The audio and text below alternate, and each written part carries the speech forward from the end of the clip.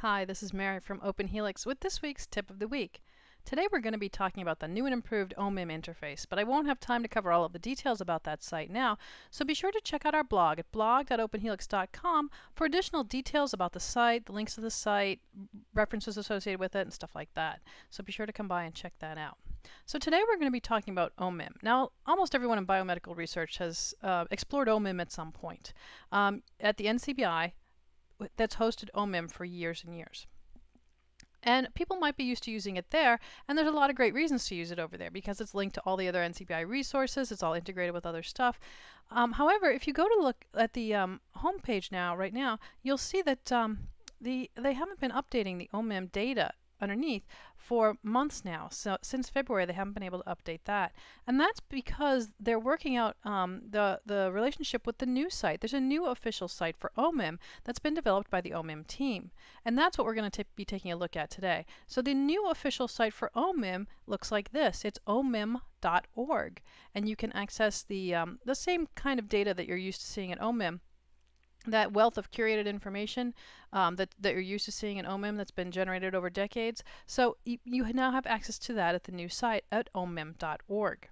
And the folks that, uh, who are responsible for uh, maintaining OMIM are encouraging resource providers. If you link to OMIM, you should be linking to this new site now. This is the official site going forward. And I don't know if it's going to be um, worked out that the um, updates will go over to NCBI, but um, if you're looking for the most up-to-date information right now, you should be checking out the new site here.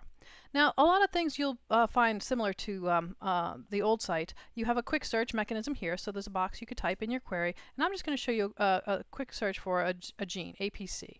Um, it's a gene I always like to use because the, there's so much information about it.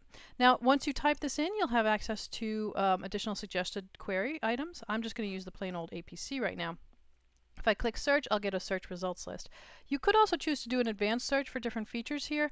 Um, I won't be showing that today, but be sure to come back later and try those out and see the different things that you can ask for additionally in the advanced search options.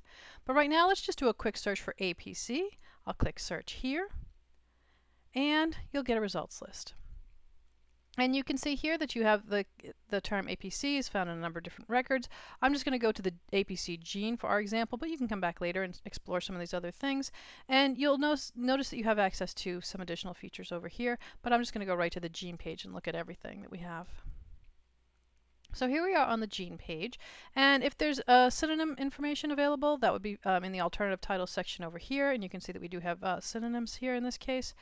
You can access cytogenetic location here. You can go to the MIM map. You can also um, call up the UCSC Genome Browser by using this genome coordinates link. And what's really cool about that is if I click this link, I won't do it I won't do it now because it takes a while to load, but you get a page over at UCSC on the current assembly. So this is the February 2009 assembly and it shows the region you're looking at, but it also automatically loads the OMIM track. And some people might not be aware that there's an OMIM track available on the UCSC Genome Browser. And if you click that link from an OMIM page, it automatically loads that up. So that's a very handy feature now. You can look at the phenotype table, the phenotype relationship table. So in this um, uh, region, you'll have a number of different phenotypes that have been um, identified, and you can link to those pages as well. Now, this page is a really, really long page. It's a well-studied gene, and it's the same information you've known, you've come to trust over the years uh, from OMIM. As before, you can access the different aspects of the page by clicking on the, um, links that you might hear. Maybe you're interested in the cloning features. Maybe you're interested in the the uh, the features that are here in the genotype and phenotype correlations. So you could access any portion of the page in the table of contents section like you always did. You have a bunch of external links though that are very, very handy. So here you can access different browsers to look around. You can look again at the DNA sequences from here. You can look at protein information. You could look at gene information, which might contain a whole bunch of other additional information that you might be interested in. A couple of tools that they didn't have access to before. Um, BioGPS is uh, one of our favorite tools, and PharmGKB as well. So there's some new links that are available over here on the new OMIM site. And you can also link to other features as well. Now, I, I won't have time to go into all of the, the features at OMIM. Um, I would like to click one feature though. I'll click the gene map.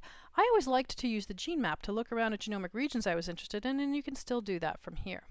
So check out the um, new OMIM site, the new and improved features. Um, I think there's a lot of great things over here, and I also love the feature where you can select the language now and translate the with Google Translate. So check out new OMIM and see if you like it. Thanks very much for your time.